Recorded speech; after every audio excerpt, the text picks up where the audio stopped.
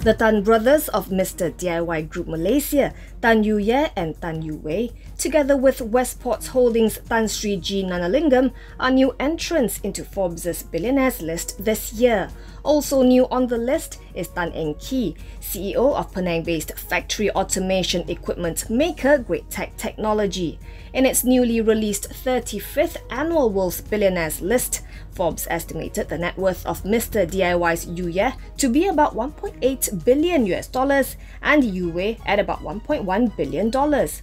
Forbes noted that the brothers' wealth comes from their respective stakes in the home improvement retail chain. It estimated Gnanalingam's net worth to be about $1.7 billion, and Greatech's Tan's fortune to total $1.1 billion.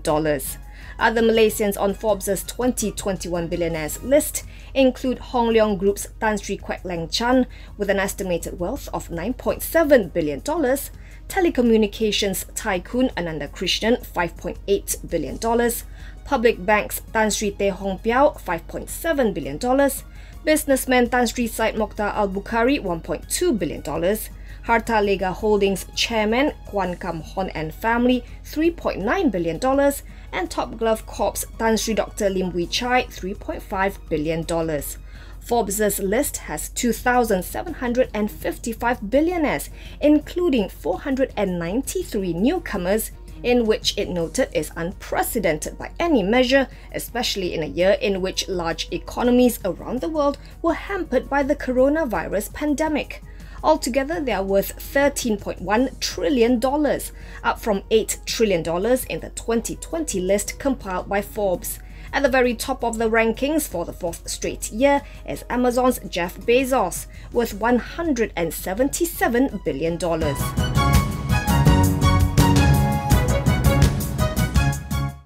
Tan Sri Tony Fernandes and Datuk Kamarudin Meranun have sold UK-based performance car manufacturer Caterham Cars to Japanese automotive group VT Holdings. According to Caterham, it was acquired on March 31st by VT from Fernandes, AirAsia Group Executive Director and CEO, and Kamarudin, the Budget Airlines Executive Chairman. In Caterham's statement, the company did not, however, disclose the value of the transaction or specify why the long-time business partners decided to let go of the lightweight sports car maker. In the statement, Caterham CEO Graham McDonald merely said that the company is excited about starting to write the next chapter for this very special brand. VT has operated as the official Japanese importer for Caterham's 7-car model since 2009. It is one of Japan's largest retailer groups and also imports a collection of two and four wheeled British brands, including Royal Enfield and Lotus in its home market.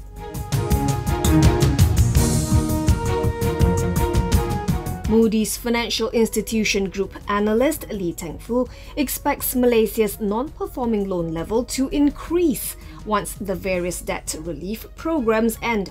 Speaking at Moody's Investors Service Inside ASEAN Malaysia Media Roundtable, Lee said that the percentage of loans applicable for debt relief in Malaysia is relatively high, though it is not as high as in Indonesia or Thailand. Lee expects some of these loans to eventually default when the retail and small and medium enterprise debt relief schemes end this coming June. Still, the outlook for asset quality is stable, he said, and one of the key mitigating factors is that the loans under the repayment schemes are largely from the retail segment, specifically mortgages and auto loans. He said this sort of mirrors the composition of the banking system loans and will help mitigate potential losses. Lee noted that Malaysian households have strong buffers in the form of financial assets and could blunt the losses that may arise from these loans under repayment assistance. The analyst also believes that the proactive loan provisioning done by Malaysian banks in 2020 against loan buffers means the lenders could absorb some of these loan losses. Under its baseline assumption, Moody's Financial Institution Group does not expect credit cost or loan loss provision to spike in the second half of 2021 when the debt relief measures expire.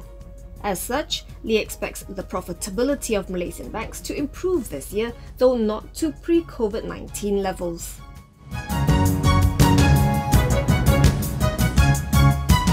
Genting Chairman and CEO Tan Sri Lim Kok Thay expects significant challenges to persist in 2021 despite the nascent recovery being registered by the regional gaming market.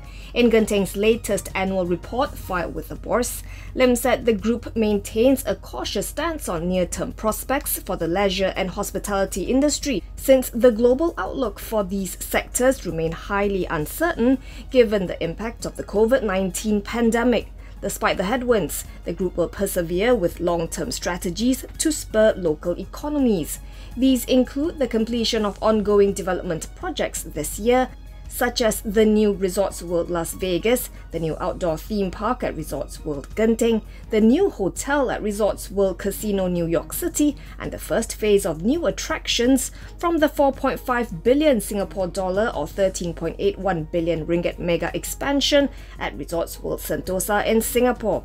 Lim said the group will continue to optimize productivity and improve operational efficiency and also assess any good business opportunities that may arise from this new normal that could complement its existing business or provide new growth.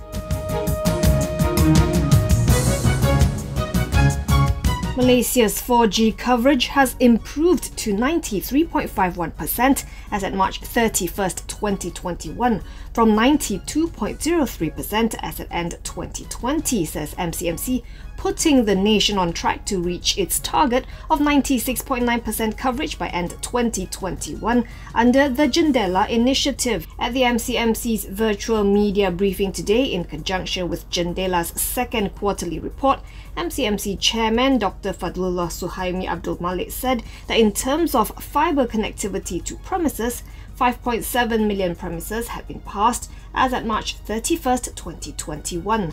That's up from 5.4 million as at December 31, 2020. From a KPI standpoint, he said MCMC hit 132% of the planned target for the first quarter ended March 31, 2021.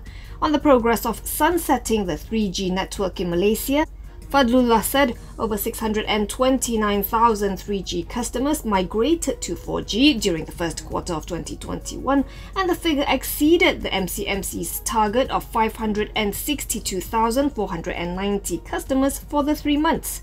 Meanwhile, 20,492 3G carriers were switched off, surpassing its target of 19,607 for the quarter.